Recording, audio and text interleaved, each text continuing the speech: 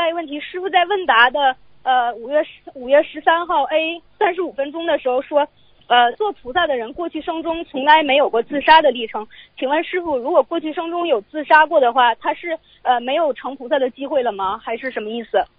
自杀没死掉就有机会，如果自哦杀死掉了，那么再投人了，这个人也成不了佛的，成不了菩萨的。但永永永生永世都成不了佛不行了，不行，了，不行了，最多只哦能做天人了。嗯，只能做天人是吧？嗯嗯好的，感恩师傅。